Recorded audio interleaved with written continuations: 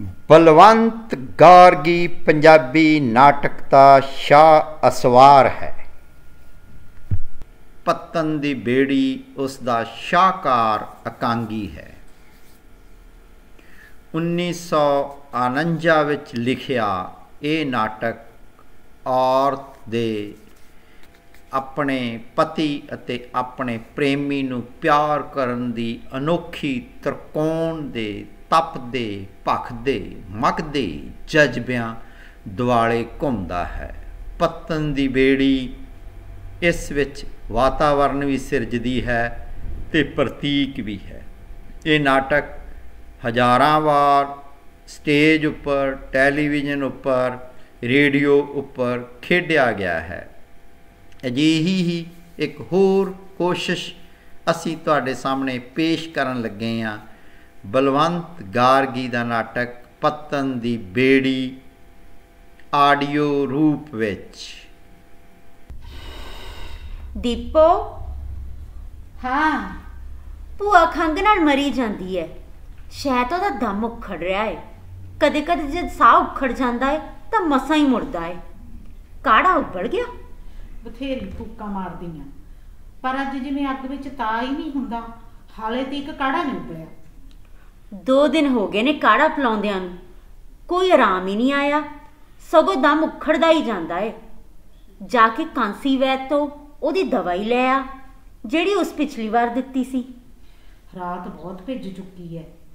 ਬਾਹਰ ਦਰਿਆ ਵੀ ਬਹੁਤ ਚੜਿਆ ਹੋਇਆ ਕਿੱਕਰ ਜਾਵਾਂ? ਹੋਰ ਕਿਸ ਨੂੰ ਭੇਜੀਏ? ਘਰ ਵਿੱਚ ਕੋਈ ਵੀ ਤੇ ਨਹੀਂ। ਪਰ ਮੈਂ ਵੀ ਕਿਵੇਂ ਜਾਵਾਂ? ਇਹ ਕਾੜਾ ਪਿਲਾ ਕੇ ਉਹਦੀ ਹਿੱਕ ਨੂੰ ਦੇ ਸ਼ਾਇਦ ਲੇਪ ਨਾਲ ਕੁਝ ਗਰਮਾਈ ਆ ਜਾਵੇ। ਮੈਂ ਕਿਸੇ ਨੂੰ ਦੇਖਦੀ ਆ। ਹਾਏ, ਦਰਿਆ ਕਿੱਡਾ ਚੜਾ ਆਇਆ ਏ। ਛੱਲਾਂ ਸਾਡੀ ਝੁੱਗੀ ਦੀ ਕੁੱਕ ਤੀਕ ਪੁੱਜਦੀਆਂ ਨੇ। ਤੂੰ ਬੇੜੀ ਘਸੀਟ ਕੇ ਰੁੱਖ ਨਾਲ ਬੰਨ ਦਿੱਤੀ ਸੀ। ਉਹ ਚੰਗੀ ਤਰ੍ਹਾਂ ਬੰਨੀ ਹੋਈ ਹੈ ਉਹਨੂੰ ਤਾਂ ਕੁਝ ਨਹੀਂ ਹੋਣਾ। ਮੇਰੀ ਲਾ ਦੇ ਪਤਨ ਤੇ ਬੇੜੀ। ਮੇਰੀ ਲਾ ਦੇ ਪਤਨ ਤੇ ਬੇੜੀ। ਪੈਰ ਤਲਾਸ਼ ਦੇ ਨੈਣ ਉਮੀਦ ਦੇ ਪੱਕ ਗਏ ਨੇ। ਅਜੇ ਪਤਾ ਨਹੀਂ ਮੰਜ਼ਿਲ ਕਿਹੜੀ। ਮੇਰੀ ਲਾ ਦੇ ਪਤਨ ਤੇ ਬੇੜੀ। ਮੇਰੀ ਲਾ ਦੇ ਪਤਨ ਤੇ ਬੇੜੀ। ਇਸ ਵੇਲੇ ਕੌਣ ਗਾ ਰਿਹਾ ਹੈ? ਪਤਾ ਨਹੀਂ। ਕੌਣ? ਚੱਪੂਆਂ ਦੀ ਛਪ ਛਪ ਸੁਣਦੀ ਏ ਹਾਂ। ਪਿੰਡ ਦੇ ਸਾਰੇ ਮਹਾਣੇ ਆਪਣੀਆਂ ਆਪਣੀਆਂ ਬੇੜੀਆਂ ਖਿੱਚ ਕੇ ਕੰਡੇ ਲੈ ਗਏ। ਇਹ ਕੌਣ ਹੋਵੇਗਾ? ਪਤਾ ਨਹੀਂ ਦਰਿਆ ਬਹੁਤ ਆਫਰਿਆ ਹੋਇਆ ਹੈ। ਹਾਂ ਇਹ ਹਵਾ ਦੀਆਂ ਸ਼ੂਕਾਂ ਕਿੰਨੀਆਂ ਤੇਜ਼ ਹਨ ਜਿਵੇਂ ਸਭ ਕਾਸੇ ਨੂੰ ਉਡਾ ਕੇ ਹੀ ਲੈ ਜਾਣਗੀਆਂ। ਲਾਜੋ ਮੈਨੂੰ ਤੂਫਾਨ ਤੋਂ ਹਮੇਸ਼ਾ ਡਰ ਆਉਂਦਾ ਹੈ। ਤੂਫਾਨ ਦੇ ਨਾਲ ਹੀ ਮੈਨੂੰ ਉਹ ਦਿਨ ਯਾਦ ਆ ਜਾਂਦਾ ਹੈ ਜਦ ਮੇਰਾ ਵੀਰ ਤੈਨੂੰ ਛੱਡ ਕੇ ਨਿਕਲ ਗਿਆ ਸੀ। ਮੈਨੂੰ ਉਹ ਦਿਨ ਯਾਦ ਨਾ ਕਰਾ ਲਾਜੋ ਮੈਨੂੰ ਉਹ ਦਿਨ ਭੁੱਲਦਾ ਹੀ ਨਹੀਂ। ਮੈਂ ਤਾਂ ਕਈ ਵਾਰ ਆਖਿਆ ਹੈ ਕਿ ਇਹ ਝੁੱਗੀ ਮਨੂਸ ਹੈ। ਅਸੀਂ ਇਸ ਨੂੰ ਛੱਡ ਜਾਈਏ ਪਰ ਤੂੰ ਮੰਨਦੀ ਨਹੀਂ। ਇਸ ਝੁੱਗੀ ਨੂੰ ਕਿਵੇਂ ਛੱਡ ਦੇਵਾਂ? ਪੂਰੇ 6 ਸਾਲ ਬਤਾਏ ਨੇ ਮੈਂ ਇੱਥੇ। ਇੱਥੇ ਹੀ ਮੈਨੂੰ ਤੇਰਾ ਭਰਾ ਡੋਲੀ ਵਿੱਚ ਬਿਠਾ ਕੇ ਲੈ ਕੇ ਆਇਆ ਸੀ। ਤੇ ਤੂੰ ਮੇਰਾ ਘੁੰਡ ਚੁੱਕ ਕੇ ਇਸੇ ਲਾਲਟਨ ਦੇ ਚਾਨਣੇ ਵਿੱਚ ਮੇਰਾ ਮੂੰਹ ਤੱਕਿਆ ਸੀ। ਤੂੰ ਮੈਨੂੰ ਅੰਦਰ ਲਿਆਈ ਸੀ ਇਸੇ ਝੁੱਗੀ ਦੇ ਵਿੱਚ। ਮੈਨੂੰ ਇਸ ਝੁੱਗੀ ਨਾਲ ਪਿਆਰ ਹੈ ਇੱਥੇ ਬਹੁਤ ਸਾਰੀਆਂ ਯਾਦਾਂ ਦੱਬੀਆਂ ਪਈਆਂ ਨੇ। ਇਸ ਮਨੂਸ ਝੁੱਗੀ ਵਿੱਚ ਤੇਰਾ ਪੁੱਤ ਮਰ ਗਿਆ ਸੀ। ਹਾਂ ਮੇਰਾ ਨਿੱਕਾ ਲਾਲ ਇੱਥੇ ਹੀ ਜੰਮਿਆ ਸੀ ਤੇ ਇੱਥੇ ਹੀ ਮਰ ਗਿਆ। ਸੂਰਜ ਛੁਪ ਚੁੱਕਾ ਸੀ।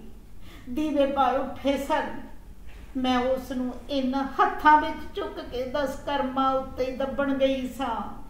ਮੈਂ ਇੱਥੋਂ ਕਿਵੇਂ ਚਲੀ ਜਾਵਾਂ? ਮੇਰਾ ਤਾਂ ਜੀ ਡਰਦਾ ਏ। ਆਪਣਾ ਆਪ ਖਾਣ ਨੂੰ ਆਉਂਦਾ ਏ। ਹਨੇਰੇ ਸਵੇਰੇ ਮੈਂ ਉਸ ਦੀ ਨਿੱਕੀ ਜਿਹੀ ਮੜੀ ਨੂੰ ਦੇਖਣ ਜਾਂਦੀ ਆ ਮੇਰੀ ਅੰਦਰ ਉੱਥੇ ਦੱਬੀ ਪਈ ਏ। ਮੇਰਾ ਮਨ ਵੀ ਇੱਕ ਵੱਡੀ ਮੜੀ ਏ ਜਿੱਥੇ ਅਣਗਿਣਤ ਆਸਾਂ ਤੇ ਯਾਦਾਂ ਦੱਬੀਆਂ ਪਈਆਂ ਨੇ। ਛੱਡ ਇਹਨਾਂ ਗੱਲਾਂ ਨੂੰ। ਜਾ ਲਾਲਟੇਨ ਲੈ ਕੇ ਜਾ ਤੇ ਕਾਂਸੀ ਵੈਦ ਤੋਂ ਪੁੜੀ ਲੈ ਆ। ਮੈਂ ਭੂਆ ਕੋਲ ਬੈਠਦੀ ਆ। ਲਾਲਟਨ ਦਾ ਚਾਨਣ ਟਿਕਵਾ ਨਹੀਂ। ਹਵਾ ਕਿਵੇਂ ਛੂਕਦੀ ਹੈ ਚੀਜ਼ਾਂ ਦੇ ਪਰਛਾਵੇਂ ਕੰਧਾਂ ਉੱਤੇ ਕੰਬਦੇ ਨੇ। ਇਸ ਝੁੱਗੀ ਵਿੱਚ ਕਿੰਨੀਆਂ ਹੀ ਚੀਜ਼ਾਂ ਦੀ ਛਾਂ ਏ। ਹਰ ਵੇਲੇ ਮੈਂ ਜਾਦਾਂ ਦੀ ਛਾਂ ਹੇਠ ਦੱਬੀ ਰਹਿਨੀ ਆ। ਇਹ ਜਾਲ, ਇਹ ਰੱਸੇ, ਇਹ ਟੁੱਟਿਆ ਹੋਇਆ ਚੱਪੂ, ਇਸ ਚੱਪੂ ਦੇ ਸਹਾਰੇ ਤੇਰਾ ਭਰਾ ਕਈ ਵਾਰ ਪਾਰਲੇ ਕੰਢੇ ਗਿਆ ਸੀ। ਉਹ ਤੇਰੀਆਂ ਚਾਲਾਂ ਤੋਂ ਅੱਕ ਕੇ ਚਲਾ ਗਿਆ। ਮੇਰੇ ਚਾਲੇ? ਹੋਰ ਨੀ ਤੂੰ ਸੁੰਦਰ ਦੇ ਪਿਆਰ ਵਿੱਚ ਕਿਵੇਂ ਗਰਕ ਗਈ? ਜਦ ਤੈਨੂੰ ਪਤਾ ਸੀ ਕਿ ਸਰਜੀਤ ਵੀਰ ਤੈਨੂੰ ਅੰਤਾਂ ਦਾ ਪਿਆਰ ਕਰਦਾ ਏ ਪਿੰਡ ਦੇ ਸਾਰੇ ਮਹਾਨ ਇੱਕ ਪਾਸੇ ਤੇ ਸੁਰਜੀਤ ਵੀਰ ਇੱਕ ਪਾਸੇ। ਸਭਨਾ ਦੇ ਆਖਣ ਸੁਣਨ ਤੇ ਵੀ ਉਹ ਤੈਨੂੰ ਲੈ ਆਇਆ। ਮੈਂ ਵੀ ਸਭਨਾਂ ਨੂੰ ਛੱਡ ਕੇ ਸਾਰੇ ਪਿੰਡ ਦੇ ਸੋਹਣੇ ਜਵਾਨਾਂ ਨੂੰ ਤੱਜ ਕੇ ਉਸ ਨਾਲ ਭੱਜੀ ਆਈ ਸੀ। ਇਸੇ ਕਰਕੇ ਤਾਂ ਉਹ ਤੇਰੇ ਲਈ ਜਾਨ ਦਿੰਦਾ ਸੀ। ਉਹ ਤੇਰੀ ਹਰ ਗੱਲ ਮਾਫ ਕਰ ਦਿੰਦਾ। ਪਰ ਤੂੰ ਉਸ ਤੇ ਆਪਣੇ ਮਿੱਤਰ ਸੁੰਦਰ ਨਾਲ ਇਸ਼ਕ ਕਮਾਉਣ ਲੱਗੀ। ਡੈਣ ਵੀ ਇੱਕ ਘਰ ਛੱਡ ਦਿੰਦੀ ਐ। ਲਾਜੋ ਲਾਜੋ ਰੱਬ ਦੇ ਵਾਸਤੇ ਚੁੱਪ ਕਰ ਚੁੱਪ ਕਰ। ਤੇਰੇ ਇਸ ਕਾਰੇ ਨੇ ਮੇਰੇ ਵੀਰ ਨੂੰ ਸਦਾ ਲਈ ਮੇਰੇ ਤੋਂ ਨਖੇੜ ਦਿੱਤਾ। ਲਾਜੋ ਲਾਜੋ ਮੈਨੂੰ ਬੇੜੀ ਦੀ ਸੌਂ ਮੈਨੂੰ ਪੱਤਣ ਦੀ ਸੌਂ। ਸੁੰਦਰ ਨਾਲ ਮੇਰਾ ਕੋਈ ਜਿਹਾ ਪਿਆਰ ਨਹੀਂ ਸੀ। ਨੀ ਚੱਲੀਏ ਪਿਆਰ ਦੀਆਂ ਵੀ ਕੋਈ ਕਿਸਮਾਂ ਹੁੰਦੀਆਂ ਨੇ। ਪਿਆਰ ਵੀ ਕੋਈ ਕੱਪੜਾ ਜਾਂ ਫੁੱਲ ਏ ਜਾਂ ਵੱਖਰੀ ਵੱਖਰੀ ਭਾਂਤ ਦਾ ਹੋਵੇ। ਚੱਲੀਏ ਪਿਆਰ ਪਿਆਰ ਹੈ ਜਿਵੇਂ ਸਤਲੁਜ ਦਾ ਪਾਣੀ ਪਾਣੀ ਹੈ ਤੈਨੂੰ ਸੁੰਦਰ ਨਾਲ ਪਿਆਰ ਸੀ। ਨਹੀਂ ਨਹੀਂ। ਮੈਨੂੰ ਪਤਾ ਹੈ ਤੂੰ ਮੇਰੀ ਪੱਤ ਨਾ ਲਾ ਲਾਜੋ ਤੂੰ ਪਿਆਰ ਦੀ ਮਾਰੀ ਏ ਤੇਰਾ ਮਾਹੀ ਤਾਪ ਨਾਲ ਮਰ ਗਿਆ। ਉਸ ਦੇ ਪਿਆਰ ਮਾਰੇ ਤੂੰ ਵਿਆਹ ਨਾ ਕੀਤਾ। ਤੈਨੂੰ ਪਿਆਰ ਦੀ ਸੌ ਤੂੰ ਮੈਨੂੰ ਇੰਜ ਨਾ ਆਗ। ਹੁਣ ਵੀ ਜਦ ਸੁੰਦਰ ਕਦੀ ਨਜ਼ਰ ਆਉਂਦਾ ਹੈ ਤੂੰ ਕੰਬ ਉੱਠਦੀ ਹੈ ਦੂਰੋਂ ਉਸ ਦੀ ਆਵਾਜ਼ ਸੁਣ ਕੇ ਤੇਰੀਆਂ ਉਂਗਲਾਂ ਆਟੇ ਵਿੱਚ ਹੀ ਰਹਿ ਜਾਂਦੀਆਂ ਨੇ।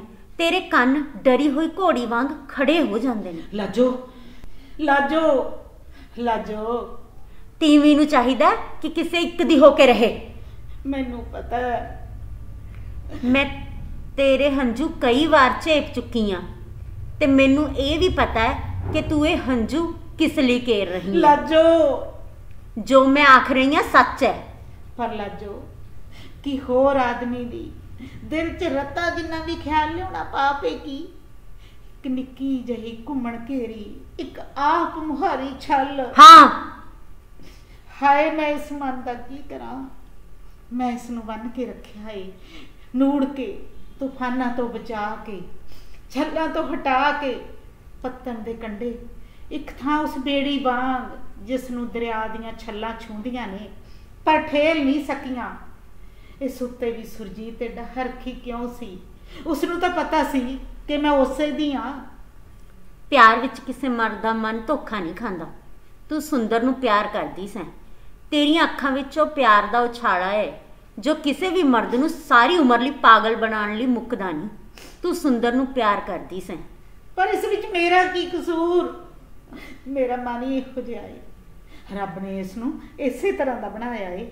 ਭਲਾ ਦੱਸ, ਇਸ ਵਿੱਚ ਮੇਰਾ ਕੀ ਗੁਨਾਹ? ਜੇ ਮੇਰੇ ਕੰਨ ਸਿੱਪੀਆਂ ਵਰਗੇ ਨੇ, ਜੇ ਮੇਰਾ ਨੱਕ ਛੋਟਾ ਏ, ਜੇ ਮੇਰੀ ਗਰਦਨ ਲੰਮੀ ਏ, ਮੈਂ ਇਸ ਦਾ ਕੀ ਇਲਾਜ ਕਰਾਂ? ਮੇਰਾ ਦਿਲ ਵੀ ਇਸੇ ਤਰ੍ਹਾਂ ਦਾ ਏ। ਵੇਗ ਨਾਲ ਭਰਿਆ ਹੋਇਆ, ਹਾਏ! ਜੇ ਮੇਰਾ ਨੱਕ ਵੱਡਾ ਹੁੰਦਾ ਮੇਰੇ ਮੂੰਹ ਤੇ ਮਾਤਾ ਦੇ ਦਾਗ ਹੁੰਦੇ ਤੇ ਮੱਥੇ ਉੱਤੇ ਕੋਈ ਕਾਲਾ ਚਟਾਕ ਹੁੰਦਾ ਤਾਂ ਮੈਨੂੰ ਕੋਈ ਪਿਆਰ ਨਾ ਕਰਦਾ ਤੇ ਨਾ ਹੀ ਸੁੰਦਰ। ਐਵੇਂ ਕੋ ਬੋਲ ਨਾ ਪਈ ਬੋਲ। ਸੁੰਦਰ ਦੇ ਪਿਆਰ ਵਿੱਚ ਮੈਨੂੰ ਪਤਾ ਨਹੀਂ ਕੀ ਏ ਉਹ ਸਭਨਾਂ ਨਾਲੋਂ ਵੱਖ ਏ। ਉਹ ਘੱਟ ਬੋਲਦਾ ਹੈ ਬਸ ਖਲੋਤਾ ਰਹਿੰਦਾ ਏ। ਅਪੋ ਹਾਏ ਰੱਬਾ ਮੈਨੂੰ ਬਖਸ਼ੀ ਮੈਂ ਕਿਉਂ ਜੀਆਂ ਗੱਲਾਂ ਕਰਨ ਲੱਗ ਪਈ? ਤੂੰ ਸੁੰਦਰ ਨੂੰ ਕਦੇ ਨਹੀਂ ਮਿਲੀ। ਕਦੀ ਨਹੀਂ।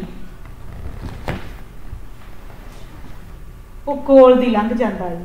ਮੈਂ ਘਾਟ ਤੋਂ ਬੇੜੀ ਠੇਲ ਕੇ ਉਸ ਦੇ ਨੇੜੇ ਦੀ ਲੰਘ ਆਉਂਦੀ ਹਾਂ ਬਸ ਉਸ ਨੂੰ ਦੇਖ ਕੇ ਸਾਰੇ ਸਰੀਰ ਵਿੱਚ ਚੁੰਚੜੀਆਂ ਜਿਹੀਆਂ ਦੌੜ ਜਾਂਦੀਆਂ ਨੇ। ਜੀਵ ਤਾਲੂ ਨਾਲ ਜਾ ਲੱਗਦੀ ਏ। ਹੁਣ ਮੈਂ ਉਸ ਨੂੰ ਕਦੀ ਨਹੀਂ ਬੁਲਾਵਾਂਗੀ। ਮੈਨੂੰ ਡਰ ਆਉਂਦਾ ਏ। ਉਸ ਤੋਂ? ਨਹੀਂ ਆਪਣੇ ਆਪ ਤੋਂ ਆਪਣੇ ਵੇਗ ਤੋਂ ਆਪਣੇ ਭਾਗਾਂ ਤੋਂ ਡਰਦੀ ਹਾਂ ਮੈਂ। ਕਿਉਂ? ਤੈਨੂੰ ਯਾਦ ਹੈ ਉਹ ਰਾਤ? ਸੁਰਜੀਤ ਨਟਾਂ ਦਾ ਤਮਾਸ਼ਾ ਦੇਖਣ ਗਿਆ ਹੋਇਆ ਸੀ।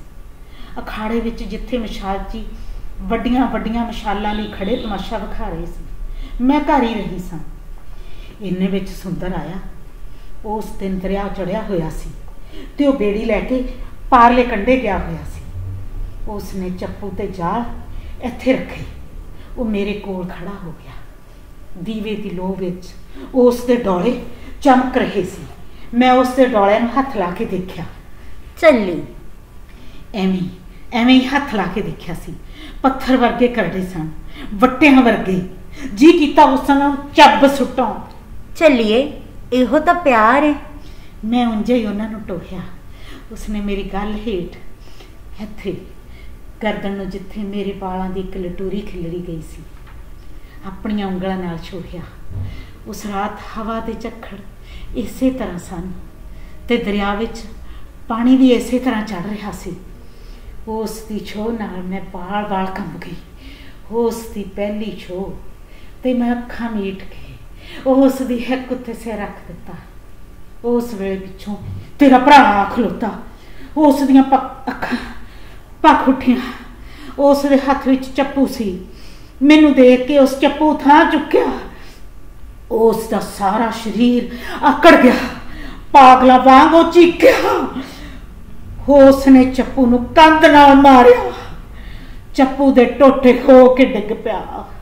ਤੇ ਫੇਰ ਉਹ ਚਲਾ ਗਿਆ। ਮੈਂ ਉਸ ਦੇ ਮਗਰ ਦੌੜੀ। ਉਸ ਦਾ ਝੱਗਾ ਫੜਿਆ।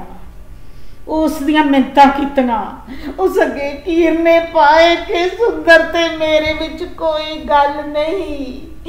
ਪਰ ਉਹ ਨਾ ਮੰਨਿਆ। ਜਿੱਥੇ ਪਿਆਰ ਬਹੁਤ ਹੋਵੇ ਉੱਥੇ ਸ਼ੱਕ ਵੀ ਵਧੇਰੇ ਹੁੰਦਾ ਹੈ। ਉਸ ਨੇ ਬੇੜੀ ਖੋਲੀ ਤੇ ਤੂਫਾਨ ਵਿੱਚ ਠੇਲ ਦਿੱਤੀ। ਉਸ ਰਾਤ ਮੈਂ ਉਸ ਨੂੰ ਉਡੀਕਦੀ ਰਹੀ। ਪਾਣੀ ਪੱਥਰਾਂ ਨਾਲ ਟੱਕਰਾਂ ਮਾਰ-ਮਾਰ ਕੁਰਲਾਉਂਦਾ ਰਿਹਾ ਝੱਗ ਸੁੱਟਦਾ ਰਿਹਾ ਪਰ ਉਸ ਦਾ ਕੁਝ ਪਤਾ ਨਾ ਲੱਗਾ। ਫੇਰ ਦਰਿਆ ਲੱਥਾ ਤਾਂ ਉਸ ਦੀ ਜੁੱਤੀ ਤਹਿਮਤ ਤੇ ਪੱਗ, ਰੁੜਦੇ ਤਰਦੇ ਕੰਡੇ ਉੱਤੇ ਪਏ ਮਿਲੇ। ਚਿੱਕੜ ਨਾਲ ਲਿਬੜੇ ਹੋਏ। ਮੈਂ ਉਸ ਦੀਆਂ ਉਹ ਤਿੰਨੇ ਚੀਜ਼ਾਂ ਚੁੱਕੀਆਂ ਤੇ ਸੁਕਾ ਕੇ ਟਰੰਕੀ ਵਿੱਚ ਰੱਖ ਦਿੱਤੀਆਂ। ਇਸ ਲਈ ਮੈਂ ਝੁੱਗੀ ਨੂੰ ਛੱਡ ਕੇ ਨਹੀਂ ਜਾਂਦੀ। ਮੈਂ ਸੁੰਦਰ ਨੂੰ ਕਦੇ ਝੁੱਗੀ ਦੇ ਅੰਦਰ ਨਹੀਂ ਆਉਣ ਦਿੱਤਾ। ਮੈਂ ਮਨ ਵਿੱਚ ਇਹੋ ਦੁਆਵਾਂ ਮੰਗਦੀ ਰਹੀ ਕਿ ਜੇ ਕਦੀ ਸੁਰਜੀਤ ਆਵੇ ਤੇ ਉਹ ਦੇਖੇ ਤਾਂ ਜਾਣੇ ਕਿ ਮੈਂ ਉਹਦੀ ਯਾਦ ਵਿੱਚ ਕਿੱਡੀ ਖਰੀ ਹਾਂ ਹੁਣ ਉਸ ਦੀ ਬਸ ਯਾਦ ਹੀ ਰਹਿ ਗਈ ਹੈ। ਉਸ ਕਦੇ ਨਹੀਂ ਆਉਣਾ।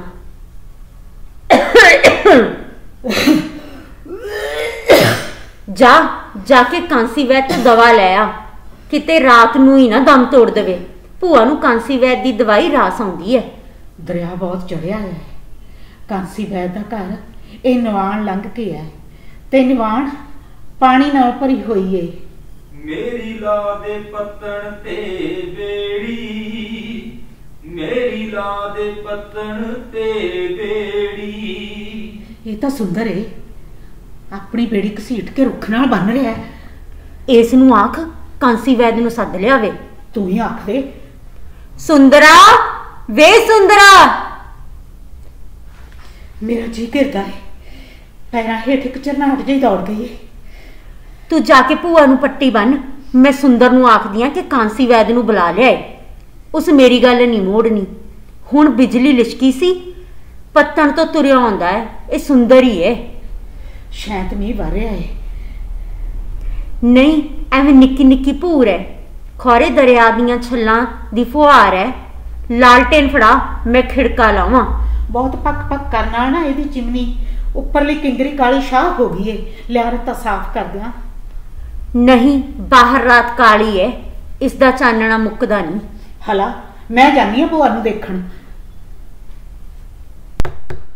ਹਫ ਦਰਿਆ ਵਿੱਚ ਝੱਖੜੀ ਝੱਖੜ ਤੇ ਘੁੰਮਣ ਘੇਰੀਆਂ। ਪਾਣੀ ਸਾਰੇ ਪਿੰਡ ਨੂੰ ਅੱਗੇ ਲਾਈ ਜਾਂਦਾ ਹੈ ਹਾਏ ਰੱਬਾ! ਹਾਂ ਪਿੰਡ ਦੇ ਲੋਕੀ ਤਾਂ ਡੰਗਰਾਂ ਨੂੰ ਹਿੱਕੀ ਪਾਣੀ ਦੇ ਅੱਗੇ ਅੱਗੇ ਨੱਸੀ ਜਾਂਦੇ ਨੇ। ਉਹ ਲਾਗਲੇ ਪਿੰਡ ਜਾ ਵੜਨਗੇ। ਉਹ ਰਤਾ ਚੇਰੀ ਥਾਂ ਤੇ ਆ ਨਾ। ਬੂਟੇ ਵਾਲ? ਹਾਂ ਹਾਂ ਬੂਟੇ ਵਾਲ। ਉੱਥੇ ਦੀਪੋ ਦੇ ਪੇਕੇ ਨੇ। ਮਗਰਮੱਛ ਦਰਿਆ ਤੋਂ ਬਾਹਰ ਨਿਕਲ ਆਏ ਨੇ ਤੇ ਟਿੱਬਿਆਂ ਉੱਤੇ ਰੇੜੇ ਫਿਰਦੇ ਨੇ। ਬੜਾ ਹੜੇ ਤੇਰੀ ਬੇੜੀ? ਬੇੜੀ ਤਾਂ ਮੈਂ ਬਚਾ ਲਿਆਂਦੀ ਏ। ਦੇਵੀ ਵਾਲੇ ਜੰਡ ਨਾ ਬੰਨ ਆਇਆ। ਭੂਆ ਬਹੁਤ ਬਿਮਾਰ ਹੈ ਜਦ ਉਸ ਨੂੰ ਖੰਘ ਛਿੜ ਜਾਂਦੀ ਹੈ ਤਾਂ ਮਸਾਂ ਹੀ ਰੁਕਦੀ ਹੈ ਤੂੰ ਜਾ ਕੇ ਕਾਂਸੀ ਤੋਂ ਦਵਾਈ ਲੈ ਆ। ਅੱਛਾ ਚਲਾ ਜਾਣਾ ਪਰ ਕਾਂਸੀ ਵੀ ਸ਼ਾਇਦ ਨਸ ਗਿਆ ਹੋਵੇ। ਉਸ ਦਾ ਘਰ ਤਾਂ ਉੱਚੇ ਟਿੱਬੇ ਉੱਤੇ ਹੈ ਉਸ ਕਿੱਥੇ ਨੱਸਣਾ ਹੈ ਉਹ ਤੂਫਾਨ ਤੋਂ ਨਸ ਕੇ ਕਦੇ ਕਿਤੇ ਨਹੀਂ ਜਾਂਦਾ। 12 ਵਰੇ ਪਹਿਲਾਂ ਜਦੋਂ ਹੜ੍ਹ ਆਇਆ ਸੀ, ਤਾਂ ਸਾਰਾ ਪਿੰਡ ਉੱਜੜ ਗਿਆ ਸੀ, ਪਰ ਉਹ ਕਿਤੇ ਨਹੀਂ ਗਿਆ। ਮਸਤ ਮੌਲਾ ਏ ਬਸ ਭੰਗ ਘੋਟਣ ਦਾ ਸ਼ਕੀਨ। ਹੁਣ ਵੀ ਭੰਗ ਪੀ ਕੇ ਆਪਣੇ ਘਰ ਪਿਆ ਹੋਣਾ ਤੂੰ ਜਾ ਕੇ ਉਸ ਤੋਂ ਦਵਾਈ ਲੈ ਆ। ਉਸ ਦੀ ਪੁੜੀ ਵਿੱਚ ਬੜਾ ਹੀ ਸੱਤ ਹੈ। ਬਸ ਰੋਗ ਨੂੰ ਜੜੋਂ ਫੜਦਾ ਹੈ। ਭੂਆ ਨੂੰ ਉਸ ਤੋਂ ਛੁੱਟ ਹੋਰ ਕਿਸੇ ਦੀ ਦਵਾ ਨਹੀਂ ਸਿਖਾਉਂਦੀ ਅੱਛਾ। ਚਲ ਮੈਂ ਬੇੜੀ ਖੋਲ ਲਿਆਵਾਂ। ਪਾਣੀ ਦੀਆਂ ਘਰਾਲਾਂ ਵਗੀ ਜਾਂਦੀਆਂ ਨੇ। ਮੈਂ ਜਾਣਾ ਛੇਤੀ ਮੁੜਾਵਾਂਗਾ। ਬੇੜੀ ਖੋਲ ਕੇ ਲੈ ਜਾਣਾ ਤੇ ਏਸੀ 'ਚ ਬਿਠਾ ਕੇ ਲੈ ਆਵਾਂਗਾ ਉਹਨੂੰ। ਜੇ ਉਹ ਆਪ ਨਾ ਆਵੇ ਤਾਂ ਦਵਾ ਲੈ ਆਵੀਂ ਉਸ ਨੂੰ ਦਵਾ ਦਾ ਪਤਾ ਹੈ ਉਹ ਪਿਛਲੇ 20 ਸਾਲਾਂ ਤੋਂ ਇਸ ਟੱਬਰ ਨੂੰ ਜਾਣਦਾ ਹੈ ਉਸ ਪੁੜੀਆਂ ਬਣਾ ਕੇ ਰੱਖੀਆਂ ਸਨ। ਪਰ ਤਿੰਨ ਦਿਨਾਂ ਤੋਂ ਦਰਿਆ ਚੜਿਆ ਹੋਇਆ ਸੀ। ਸਾਡੇ ਵਿੱਚੋਂ ਕੋਈ ਨਾ ਜਾ ਸਕਿਆ। ਪਹਿਲਾਂ ਜਦ ਕਦੀ ਭੂਆ ਨੇ ਇਹ ਪੁੜੀਆਂ ਖਾਧੀਆਂ ਉਸ ਨੂੰ ਉਸੇ ਵੇਲੇ ਆਰਾਮ ਆ ਗਿਆ। ਅੱਛਾ, ਮੈਂ ਜਾਣਾ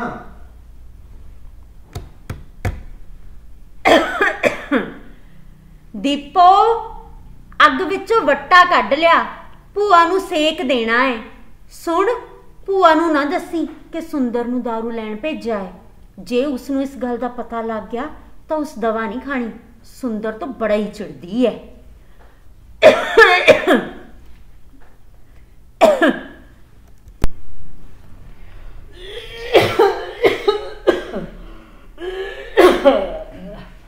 ਕੌਣ ਗਿਆ ਏ ਕਾਂਸੀ ਬੈਦ ਕੋਲ ਦਾਰੂ ਲੈਣ ਗੁਆਂਢ ਚੋਂ ਮੈਂ ਨੱਥੇ ਨੂੰ ਆਖਿਆ ਹੈ ਨੱਥਾ ਤਾਂ ਰਾਜੀ ਕੁੜੀਆਂ ਸੁਟਾਉ ਉਸ ਦਿਨ ਉਹਨੂੰ ਆਖਿਆ ਸੀ ਵੀ ਬੇੜੀ ਢੇਲ ਕੇ ਆ ਜੰਡ ਨਾਲ ਬੰਨ ਦੇ। ਤਾਂ ਇੱਕ ਚੱਪੂ ਹੀ ਤੋੜ ਲਿਆ ਆ। ਤੂੰ ਘਾਬਰ ਨਾ ਉਹ ਪੁੜੀਆਂ ਲੈ ਆਵੇਗਾ। ਜਿਉਣੇ ਨੂੰ ਆਖ ਦੇਣਾ ਸੀ ਉਹ ਲੈ ਆਂਦਾ। ਜਿਉਣਾ ਤਾਂ ਸਣੇ ਗੱਡੇ ਤੇ ਬਲਦਾਂ ਨੂੰ ਕੱਲ ਤਰਕਾਲੀ ਪਿੰਡ ਖਾਲੀ ਕਰ ਗਿਆ। ਉਸ ਦੇ ਬਾਲ ਬੱਚੇ ਉਸ ਦੀ ਤੀਵੀਂ ਉਸ ਦਾ ਸਾਰਾ ਟੱਬਰ ਟੀਰ ਦੂਜੇ ਪਿੰਡ ਚਲਾ ਗਿਆ। ਪਿੱਛੋਂ ਉਸ ਦੇ ਘਰ ਲੰਗੜਾ ਬਲਦ ਰਹਿ ਗਿਆ। ਉਹ ਵਾੜੇ ਵਿੱਚ ਖੜਾ ਅੜਾਂਦਾ ਏ ਵਿਚਾਰਾ। ਪਤਾ ਨਹੀਂ ਰੱਬ ਨੇ ਇਸ ਪਿੰਡ ਤੋਂ ਕਿਹੜੇ ਬਦਲੇ ਨੇ। ਹਰ ਚੌਥੇ ਸਾਲ ਇਸੇ ਤਰ੍ਹਾਂ ਹੜ ਆਉਂਦਾ ਹੈ।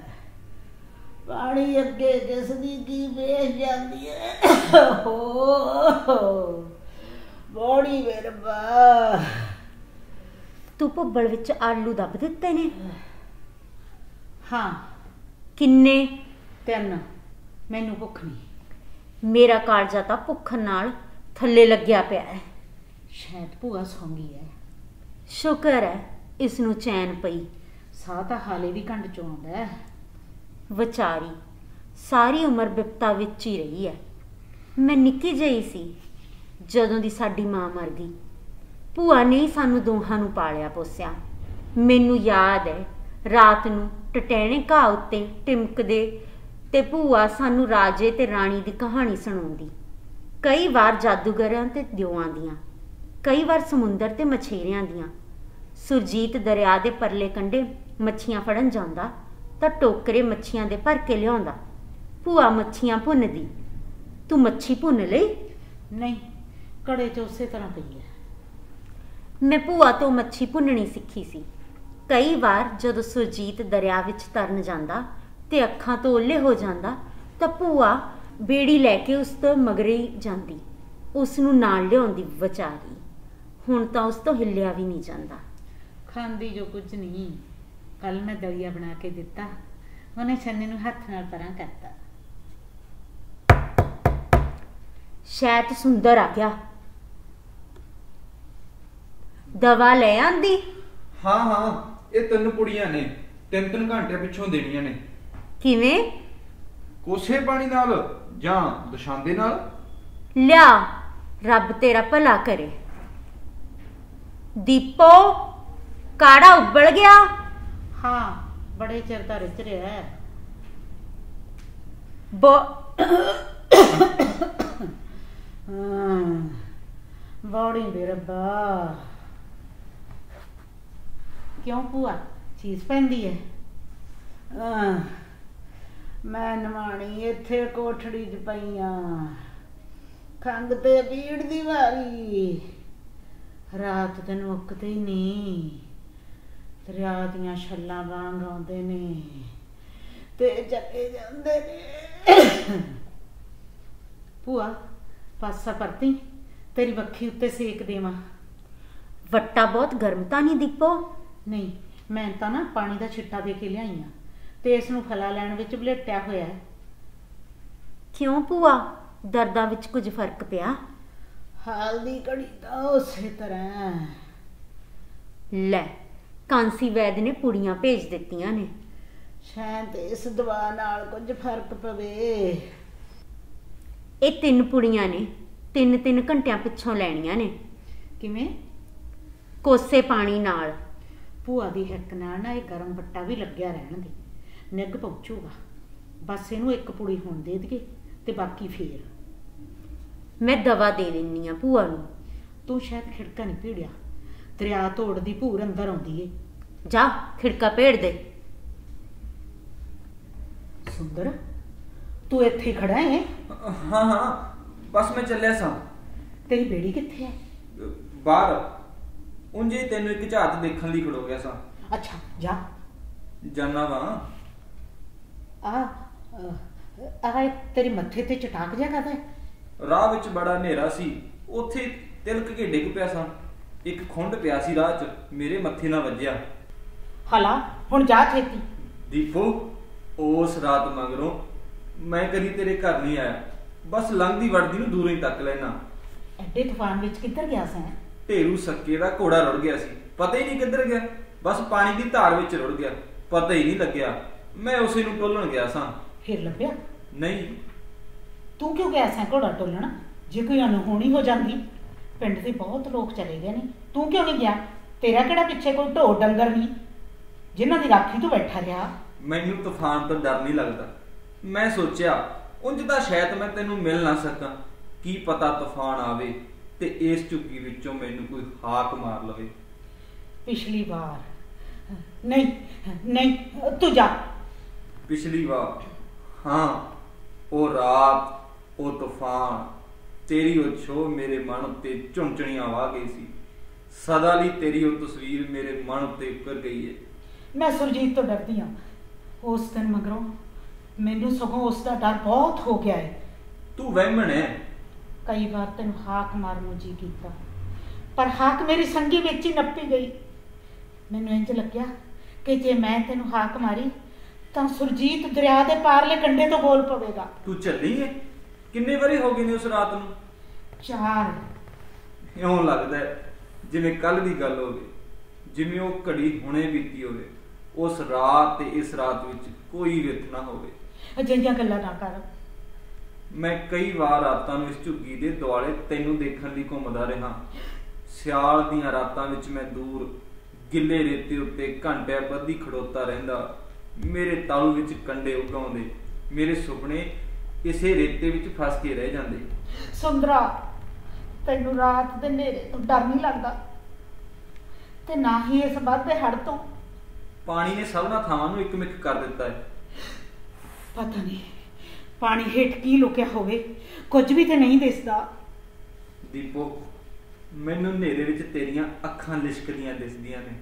ਭਿੱਜੀਆਂ ਭਿੱਜੀਆਂ ਅੱਖਾਂ। ਮੈਨੂੰ ਸ਼ੋ ਨਾ ਹਾਲੇ ਮੈਂ ਉਹ ਰਾਤ ਭੁੱਲੀ ਨਹੀਂ।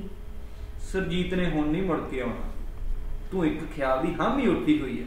ਤੂੰ ਐਵੇਂ ਦਿਨ ਰਾਤ ਉਹਦੇ ਸੰਸੇ ਵਿੱਚ ਦੱਬੀ ਉਸ ਡਰ ਦੀ ਛਾਂ ਹੇਠ ਆਪਣੀ ਦੇਹ ਨੂੰ ਗਾਲ ਰਹੀ ਹੈ। ਉਸ ਨੂੰ ਗਏ ਹੋਏ ਨੂੰ 4 ਵਰੇ ਹੋ ਗਏ ਨੇ। ਉਹਦੀ ਪੱਗ ਤਹਿਮਤ ਤੇ ਜੁੱਤੀ ਲੱਭੇ ਸੀ। ਪਾਣੀ ਨਾਲ ਭਿੱਜੇ ਤੇ ਚਿੱਕੜ ਨਾਲ ਲਿਬੜੇ ਹੋਏ। ਜ਼ਰੂਰ ਕਿਸੇ ਮਗਰਮੱਛ ਨੇ ਖਾ ਲਿਆ ਹੋਣਾ ਹੁਣ ਤੇਰੇ ਹੱਥ ਕਿਉਂ ਖੰਭ ਰਹੇ ਨੇ? ਡਰ ਨਾਲ। ਤੈਨੂੰ ਕੀ ਦਾ ਡਰ ਹੈ? ਹਾਂ। ਆ ਕਾਦੀ ਵਾਸੀ ਓਏ ਤਾਂ ਪੱਤਨ ਨਾਲ ਵੱਧੀ ਬੇੜੀ ਦੀ ਜ਼ੰਜੀਰ ਖੜਕੀ ਸੀ ਤੇ ਪਾਣੀ ਦੀ ਛੱਪ ਛੱਪ ਜਿਹੜਾ ਉਹਦੇ ਨਾਲ ਖਹਿੰਦਾ ਹੋਇਆ ਲੰਘ ਰਿਹਾ ਹੈ।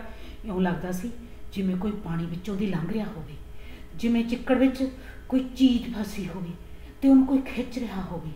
ਮਨ ਵਿੱਚ ਜੀਵ ਜੀਵ ਖਿਆਲ ਉੱਠਦੇ ਨੇ। ਇਹ ਸਭ ਵਹਿਮ ਨੇ ਤੇਰੇ। ਕੌਣ ਸੀ? ਕੋਈ ਵੀ ਨਹੀਂ ਬਸ ਤੇਰਾ ਖਿਆਲ ਸੀ ਜੋ ਉਛਲ ਕੇ ਬਾਹਰ ਆ ਗਿਆ। ਤੇਰੀ ਬੀਣੀ ਕਿੱਡਾ ਠਰਮਾ ਦਿੰਦੀ ਹੈ ਤੇਰੇ ਕਾਲਜੇ ਦੀ ਤੱਕ ਤੱਕ ਮੈਨੂੰ ਇੱਥੇ ਸੁਣਦੀ ਹੈ ਕਈ ਵਾਰ ਮੈਨੂੰ ਇੰਜ ਲੱਗਦਾ ਹੈ ਜਿਵੇਂ ਮੇਰਾ ਦਿਲ ਇੱਕੋ ਵਾਰ ਜ਼ੋਰ ਦੀ ਧੜਕੇਗਾ ਤੇ ਖੜੋ ਜਾਵੇਗਾ। ਤੇਰੀ ਛੋਹ ਨੇ ਮੇਰੇ ਲੂਲੂ ਵਿੱਚ ਲੀਕਾਂ ਵਾ ਦਿੱਤੀਆਂ ਨੇ ਤੇ ਨੱਚਦੀਆਂ ਲੀਕਾਂ। ਜਿਨ੍ਹਾਂ ਦਾ ਕੋਈ ਮੁੱਢ ਨਹੀਂ ਕੋਈ ਅੰਤ ਨਹੀਂ। ਸੁੰਦਰਾ। ਹਾਂ। ਸੁੰਦਰਾ ਮੇਰਾ ਸਿਰ ਭਾਰਾ ਹੋ ਗਿਆ ਏ। ਅੱਖਾਂ ਅੱਗੇ ਚਿਣਗਾ ਨੱਚਦੀਆਂ ਨੇ। ਤੇਰੀ ਹਿੱਕ ਨਾਲ ਸਿਰ ਲਾ ਕੇ ਮੇਰਾ ਦਿਲ ਹੋਰ ਵੀ ਧੜਕਣ ਲੱਗ ਪਿਆ ਏ। ਦੀਪੋ। ਮੇਰੇ ਲਹੂ ਵਿੱਚ ਕੋਈ ਬੇੜੀ ਠੇਲ ਰਿਹਾ ਏ। ਮੇਰੀਆਂ ਨਸਾਂ ਵਿੱਚ ਕੋਈ ਘੁੰਮਣ ਘੇਰੀਆਂ ਪਾ ਰਿਹਾ ਏ। ਕਾਂਸੀ ਬੈਦ ਦੀਆਂ ਪੁੜੀਆਂ ਨਾਲ ਭੂਆ ਦੀਆਂ ਦਰਦਾਂ ਹਟ ਗਈਆਂ ਨੇ। ਕੋਈ ਅਜਿਹੀ ਪੁੜੀ ਨਹੀਂ ਜਿਸ ਨਾਲ ਦਰਿਆ ਦੇ ਉਬਾਲੇ ਸੁੱਕ ਜਾਣ ਤੇ ਝੱਖੜ ਠੱਲ ਜਾਣ। ਕੋਈ ਅਜਿਹੀ ਪੁੜੀ ਨਹੀਂ ਜਿਸ ਨਾਲ ਮੇਰੇ ਦਿਲ ਵਿੱਚ ਉੱਠਦਾ ਤੂਫਾਨ ਦੱਬਿਆ ਜਾਵੇ। ਮੈਂ ਵੀ ਇਸੇ ਤੂਫਾਨ ਦੀ ਡੀਕ ਵਿੱਚ ਸਿਆਲ ਹੁਨਾਲ ਦੇ ਘੁੱਟ ਭਰਦਾ ਰਿਹਾ ਦੀਪੋ। ਇਸ ਤੂਫਾਨ ਨੇ ਮੇਰੀਆਂ 4 ਸਾਲਾਂ ਦੀ ਜੀਵਨ ਧਰਤੀ ਨੂੰ ਪਾਣੀ ਨਾਲ ਕੱਜ ਦਿੱਤਾ ਏ। ਦੀਪੋ ਉਸ ਰਾਤ ਤੇ ਇਸ ਰਾਤ ਵਿੱਚ ਕੋਈ ਵਿਥ ਨਹੀਂ। ਵਕਤ ਇੱਕ ਨਿੱਕੀ ਜੀ ਘੁੰਮਣ ਘੇਰੀ ਵਾਂਗ ਸੁੰਗੜ ਗਏ। ਜਿਵੇਂ ਉਹ ਰਾਤ ਲੰਮੀ ਹੋ ਕੇ ਇਸ ਰਾਤ ਦੀ ਕੰਨੀ ਤੇ ਆ ਖੜੋਤੀ ਹੋਵੇ, ਤੇਰੇ ਥਿੜਕਦੇ ਬੋਲਾਂ ਵਿੱਚ ਮੇਰੇ ਸਾਰੇ ਸੁਪਨੇ ਪੰਗਰ ਗਏ ਨੇ। ਤੇਰੀ ਗਰਮ ਛੋਹ ਵਿੱਚ ਤੇਰੀ ਤੱਕ ਤੱਕ ਕਰਦੀ ਹਿਕੜੀ ਵਿੱਚ। ਕੌਣ ਹੈ? ਦੀਪੋ, ਤੂੰ ਸਹਿਮ ਕਿਉਂ ਗਈ ਹੈ? ਕੌਣ ਹੈ? ਸੁਰਜੀਤ, ਹਨੇਰੇ ਵਿੱਚ ਜਦ ਜਦ ਬਿਜਲੀ ਲਿਸ਼ਕੀ ਤਾਂ ਮੈਂ ਦੇਖਿਆ, ਉਹ ਪੱਤਣ ਉੱਤੇ ਤੁਰਦਾ ਸਾਡੇ ਵੱਲ ਵਧਿਆ ਆਉਂਦਾ ਹੈ। ਐਵੇਂ ਤੈਨੂੰ ਭੁਲੇਖਾ ਲੱਗਾ ਹੋਣਾ ਹੈ। ਨਹੀਂ ਇਹ ਸੁਰਜੀਤ ਹੈ।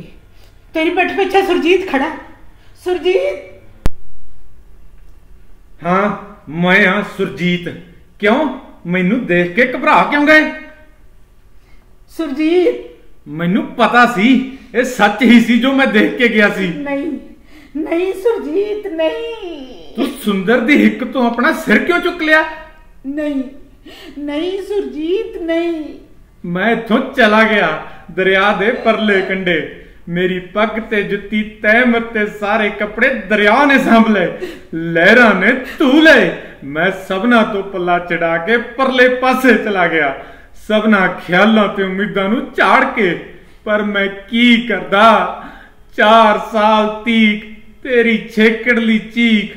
ਤੇਰੇ ਹੰਝੂਆਂ ਭਰਿਆ ਤਰਲਾ ਮੇਰੇ ਕੰਨਾਂ ਵਿੱਚ ਗੂੰਜਦਾ ਰਿਹਾ। ਮੈਂ ਤੇਰੀਆਂ ਸਿਸਕੀਆਂ ਮੇਰੇ ਮਨ ਵਿੱਚ ਸਿੱਪੀਆਂ ਵਾਂਗ ਤਰਦੀਆਂ ਰਹੀਆਂ। ਮੈਂ ਸੋਚਿਆ, ਸ਼ਾਇਦ ਤੂੰ ਠੀਕ ਸੈਂ ਤੇ ਮੈਂ ਗਲਤ। ਤੂੰ ਸੱਚ ਆਖਦੀ ਸੈਂ ਤੇ ਮੈਂ ਝੂਠ। ਮੈਂ 4 ਸਾਲ ਨਾ ਮੁੜਿਆ। ਮੈਂ ਆਪਣੀ ਕਿਸਮਤ ਦੇ ਫੈਸਲੇ ਤੋਂ ਡਰਦਾ ਸਾਂ। ਮੈਂ ਦਿਲ ਵਿੱਚ ਆਸ ਦੀ ਇੱਕ ਨਿੱਕੀ ਜਿਹੀ ਚੰਗਿਆੜੀ ਪਗਾਈ ਰੱਖੀ। ਜੇ ਮੈਂ ਪਹਿਲਾਂ ਆ ਜਾਂਦਾ ਤਾਂ ਇਹ ਆਸ ਮੁੱਕ ਜਾਂਦੀ। ਤੇਰੀ ਚੇਕੜਲੀ ਚੀਕ ਦੀ ਗੂੰਜ ਮੇਰੇ ਦਿਮਾਗ ਵਿੱਚੋਂ ਜਾਂਦੀ ਨਾ ਸੀ। ਜਿਤਨਾ ਮੈਂ ਦੂਰ ਜਾਂਦਾ, ਉਤਨੀ ਇਹ ਫੈਲਦੀ ਜਾਂਦੀ। ਤੇਰੀਆਂ ਤਰਲਿਆਂ ਭਰੀ ਚੀਕ ਚਾਰ ਸਾਲ ਜਿਹੜਾ ਕੰਮ ਕੀਤਾ, ਉੱਥੇ ਤੇਰੀ ਯਾਦ। ਤੇਰੀ ਆਵਾਜ਼, ਤੇਰਾ ਹਾਸਾ, ਤੇਰੀ ਛੂ ਮੇਰੇ ਕੰਮ ਵਿੱਚ ਆ ਕੇ ਖਲੋ ਜਾਂਦੀ। ਖੇਤਾਂ ਦੇ ਪਾਣੀਆਂ ਵਿੱਚ ਮੈਨੂੰ ਤੇਰਾ ਪਰਛਾਵਾਂ ਦਿਸਦਾ। ਬੋਲਦਾਂ ਨੂੰ ਹਿੱਕਦੇ ਹੋਏ ਉਹਨਾਂ ਦੀਆਂ ਟੱਲੀਆਂ ਵਿੱਚ ਤੇਰੇ ਹਾਸੇ ਦੀ ਟੁਣਕਾਰ ਸੁਣਦੀ। ਆਏ ਰੱਬਾ, ਮੈਂ ਕਿੱਥੇ ਆਇਆ? ਮੇਰੀ ਗੱਲ ਤਾਂ ਸੁਣ। ਮੇਰੀ ਗੱਲ ਸੁਣ। ਮੇਰੀ ਗੱਲ ਸੁਣ। ਤੂੰ ਜੋ ਦੇਖਿਆ ਹੋ ਝੂਠੇ। ਝੂਠੇ ਮੇਰੇ ਤੇ ਯਕੀਨ ਕਰ। ਜੋ ਤੂੰ ਦੇਖਿਆ ਕੇ ਹੋ ਝੂਠੇ। ਯਕੀਨ ਕਰ। ਤੇਰੇ ਤੇ ਯਕੀਨ ਕਰਾਂ ਤੇ ਆਪਣੀਆਂ ਅੱਖਾਂ ਤੇ ਨਾ ਆਪਣੇ ਦਿਮਾਗ ਵਿੱਚ ਫੈਲਦੇ ਤੇ ਸੁੰਗੜਦੇ ਹੌਲਾਂ ਤੇ ਨਾ ਤੇ ਸੁੰਦਰ ਸੁੰਦਰ ਤੇ ਨਾ। ਸੁੰਦਰਤਾ ਸੁੰਦਰਤਾ ਭੂਆ ਲਈ ਦਵਾਈ ਲੈ ਕੇ ਆਇਆ ਸੀ। ਦਵਾਈ ਦੇ ਕੇ ਹੁਣ ਜਾ ਹੀ ਰਿਹਾ ਸੀ। ਮੈਂ ਮੈਂ ਖਿੜਕਾ ਭੀੜਨ ਲਈ ਉੱਠੀ ਤੇ ਇਸ ਨਾਲ ਗੱਲੀ ਲੱਗ ਪਈ। 4 ਸਾਲ ਪਿੱਛੋਂ ਪਹਿਲੀ ਵਾਰ। ਇਸ ਵਿੱਚ ਸੁੰਦਰ ਦਾ ਕੋਈ ਦੋਸ਼ ਨਹੀਂ। ਲਾਜੋ ਨੇ ਇਸ ਨੂੰ ਆਕ ਮਾਰੀ ਸੀ। ਇਹ ਤਾਂ ਬਸ ਪੁੜੀਆਂ ਲੈਣ ਗਿਆ ਸੀ ਤੇ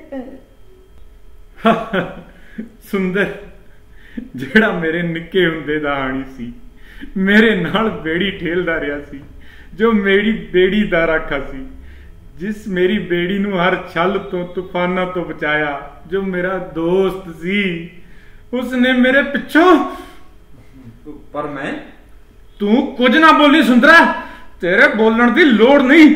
ਤੂੰ ਮੇਰੇ ਅੱਗੇ ਕਦੇ ਸਿਰ ਨਹੀਂ ਸੀ ਚੁੱਕਿਆ ਤੇ ਹੁਣ ਵੀ ਨਾ ਚੁੱਕ। ਮੈਂ ਇਸੇ ਘੜੀ ਤੋਂ ਡਰਦੀ ਸਾਂ। ਜਿਵੇਂ ਹੁਣੀ ਇਹਨਾਂ ਝਾੜਾਂ ਤੇ ਛੱਲਾਂ ਪਿੱਛੋਂ ਮੈਨੂੰ ਮੈਨੂੰ ਫੜ ਲੈ ਖਲੋਤੀ ਹੋਵੇ। ਮੈਂ 4 ਸਾਲ ਤੇਰਾ ਸਿਰ ਸੁੰਦਰ ਦੀ ਹਿੱਕ ਨਾਲ ਲੱਗਿਆ ਦੇਖਦਾ ਰਿਹਾ। ਚੇਕਰਲੀ ਵਾਰ ਦੀ ਸਹਿਮੀ ਹੋਈ ਤੇਰੀ ਸ਼ਕਲ ਜਿਸ ਉੱਤੇ ਸੁੰਦਰ ਦੇ ਪਿਆਰ ਦੀ ਤਸਵੀਰ ਝਲਕ ਰਹੀ ਸੀ, ਲੱਖਾਂ ਮਿਟਾਇਆਂ ਵੀ ਨਹੀਂ ਸੀ ਮਿਟਦੀ ਉਸ ਨੂੰ ਮਿਟਾਉਣ ਮੈਂ ਮੁੜਿਆ ਸੀ। ਠਹਿਰ, ਰੱਤਾ ਖੜੋ। ਮੇਰੀ ਗੱਲ ਸੁਣ। ਤੈਨੂੰ ਮੇਰੀ ਗੱਲ ਸੁਣਨੀ ਪਵੇਗੀ। ਤੂੰ ਜੋ ਆਖ ਰਿਹਾ ਹੈ ਉਹ ਝੂਠ ਹੈ ਝੂਠ। ਮੈਨੂੰ ਮੈਨੂੰ ਤੇਰੀ ਉਡੀਕ ਦੀ ਸੌ, ਤੇਰੀ ਯਾਦ ਦੀ ਸੌ। ਤੂੰ ਕਿੱਥੇ ਚੱਲਿਆ? ਤੂੰ ਕਿੱਥੇ ਚੱਲਿਆ ਫੇਰ? ਹਾਏ ਰੱਬਾ। ਮੇਰਾ ਝੱਗਾ ਛੱਡ ਦੇ। ਜਾ ਮੁੜ ਜਾ। ਜੀਵਨ ਦੀ ਢੇਰੀ ਰਾਤ ਵਿੱਚ ਮੈਂ ਤੈਨੂੰ ਉਡੀਕਿਆ। ਅੱਖਾਂ ਪਾੜ ਕੇ ਤੇਰਾ ਰਾਹ ਦੇਖਿਆ। ਇਹ ਸਾਰਾ ਪੱਤਣ ਮੈਂ ਪੱਬਾਂ ਨਾਲ ਕੱਛਿਆ। ਜਦ ਰਤਾ ਮੇਰੀ ਅੱਖ ਲੱਗੀ ਤਾਂ ਤੂੰ ਆ ਗਿਆ। ਮੈਨੂੰ ਜਾਣ ਦੇ। ਕਿੱਥੇ ਚੱਲਿਆ? ਹੈ? ਕਿੱਥੇ? ਜਿੱਥੇ ਮੇਰੇ ਸੁਪਨੇ ਦਮ ਤੋੜ ਰਹੇ ਸਨ ਸਾਰਾ ਪੱਤਣ ਦਰਿਆ ਦੀਆਂ ਝੱਗਾਂ ਨਾਲ ਲਿਬੜਿਆ ਏ। ਮੈਂ ਹੁਣ ਕਦੇ ਨਹੀਂ ਆਵਾਂਗਾ। ਮੈਂ ਇਸ ਝੁੱਗੀ ਵਿੱਚ ਤੇਰੇ ਨਿੱਕੇ ਬਾਲ ਦੀ ਰਾਖੀ ਕਰਦੀ ਰਹੀ ਆ ਤੇ ਤੇਰੀ ਯਾਦ ਦੀ। ਹਾਏ ਨਾ ਜਾ। ਮੇਰੇ ਮਗਰ ਨਾ ਜਾ ਮੁੜ ਜਾ। ਉਹ ਫੇਰ ਚਲਾ ਗਿਆ। ਹਾਂ ਤੇ ਤੂੰ ਵੀ ਜਾ। ਜਾ। ਜਾ ਵੀ। ਦੀਪੋ ਦੀਪੋ ਮੇਰੀ ਗੱਲ ਸੁਣ ਦੀਪੋ। ਜਾ। ਦੀਪੋ ਤੂੰ ਕਿਉਂ ਮੂੰਹ ਤੇ ਪਵਾ ਲਿਆ ਦੀਪੋ? ਜਾ ਚਲਾ ਜਾ। ਇਸੇ ਵੇਲੇ ਇਸੇ ਘੜੀ ਮੈਂ ਖੜਕ ਬੰਦ ਕਰਨਾ ਏ। ਜਾ ਵੀ।